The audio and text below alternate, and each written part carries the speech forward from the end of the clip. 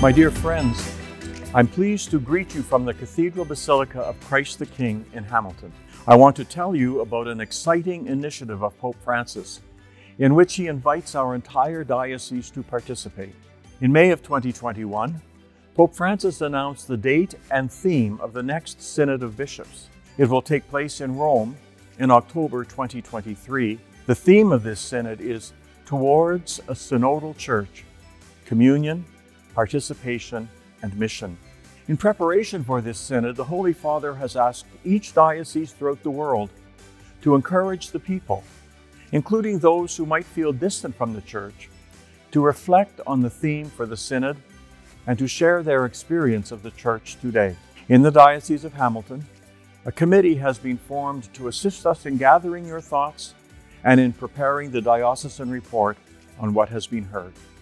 In this brief video, you will learn more about the Synod and how we will gather the information in the coming weeks and months.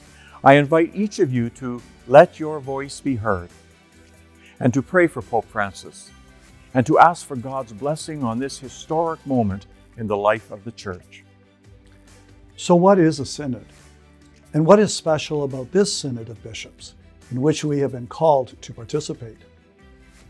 The word synod comes from a Greek word, which denotes a council of the Church. The first such gathering is recorded for us in chapter 15 of the Acts of the Apostles. The leaders of the church gathered in Jerusalem around the year 50 AD to discern what was required of Gentile or non Jewish converts to Christianity, and in particular, the question of circumcision and certain dietary customs which were part of Jewish practice. Over the centuries, councils or synods were most often gatherings of bishops, theologians, and civil rulers for the purpose of deciding on an issue of doctrine or to hold elections to various offices in the church, or to determine laws for the Christian community. In recent centuries, synods and councils have been somewhat rare, occasionally held in particular dioceses.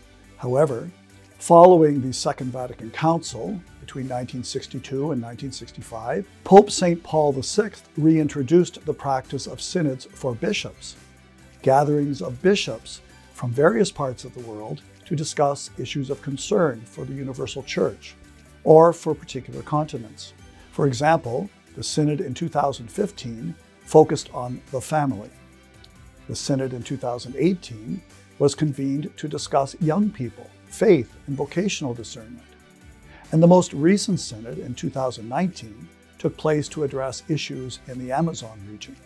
In announcing the Synod of Bishops, which will take place in Rome in 2023, Pope Francis indicated that this synod would be different from recent synods. This synod is not intended to be a single event, but rather a process which is to unfold over three years, involving each diocese, each continent, and then the bishops who will gather in Rome in 2023.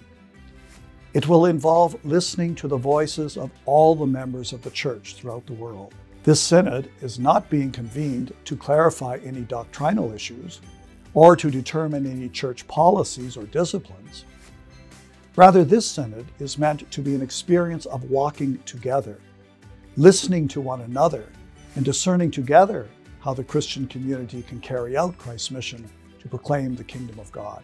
The question which Pope Francis sets before the whole church is this How does this journeying together, which takes place on many different levels, allow us to proclaim the gospel in accordance with the mission that has been entrusted to us by the Lord? And what steps does the Spirit invite us to take in order to grow as a synodal church? And so, the purpose of this unique and historic synod is to gather the people of God either in person or virtually, to be attentive to the Holy Spirit's prompting, to listen to one another, and to discern the path forward.